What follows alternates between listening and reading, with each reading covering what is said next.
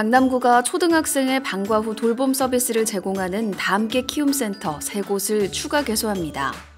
구는 18일 노년 키움센터에 이어 21일 일원 스포츠문화센터 내 누리봄 키움센터의 문을 열었는데요.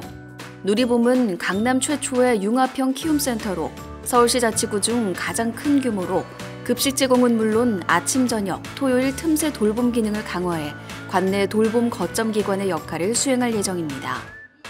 다함께 키움센터는 코로나19 상황에서 맞벌이 가정 등의 돌봄 환경을 조성해 부모들의 큰 호응을 얻고 있는데요.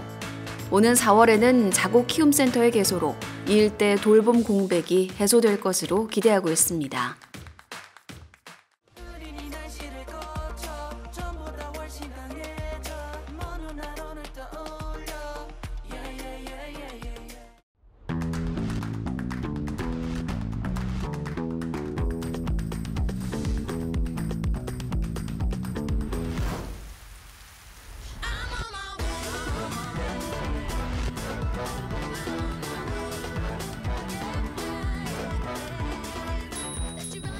당신의 강남은 어떤 모습입니까?